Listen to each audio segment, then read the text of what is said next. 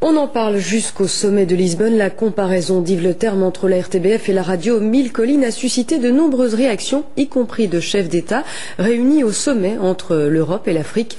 Des chefs d'État qui se sont souvent confiés au commissaire européen au développement Louis Michel. Écoutez-le au micro de Régis de Ratte. Abasourdi, Louis Michel ne cache pas son étonnement. Ce sont des Africains sous le choc, raconte-t-il, qui lui ont fait part des déclarations d'Yves Le Terme ou bien il ne connaît pas l'histoire, euh, c'est déjà un tort pour une personnalité politique de premier plan, mais s'il connaît l'histoire, alors c'est grave, parce que alors ça veut dire qu'on est en plein dans, les approximations euh, à, à 5 sous, et, ça, ça je trouve quand même euh, inacceptable. Enfin, moi je passe mon temps ici à expliquer que la crise en Belgique, ça va se résoudre, que c'est pas trop grave, que on a souvent eu des problèmes comme ceux-là, mais à ceci, moi je n'ai pas de réponse. Qu'est-ce que vous voulez que je dise? Je ne sais pas dire que c'est une erreur, que c'est non, c'est une faute.